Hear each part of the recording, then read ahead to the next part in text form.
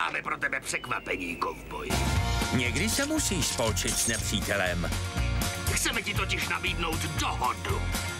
ale vyplatí se to někomu, kdo je nepřítelem spíše sám sobě? Všechno šlo přesně podle plánu, Joe. Lucky Luke, balada o Daltonových. Chcete, abych se naštval? Mě snad přece taky odsoudili, nebo ne? Mám právo být ve vězení stejně jako oni. Na minimaxu.